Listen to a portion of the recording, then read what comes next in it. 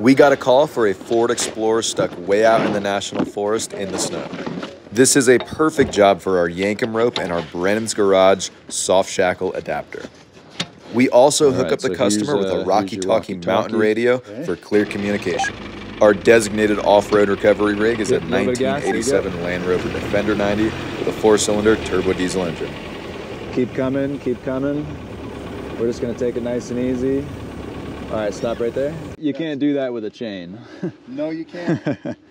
yeah, so this is a it's a Yankum rope, um, and it's specifically designed for just that. yeah, it just pops it out. Yep, and it's nice and smooth. It stretches, and it's very very strong. Is this a Defender, Land Rover Defender? Yes, sir.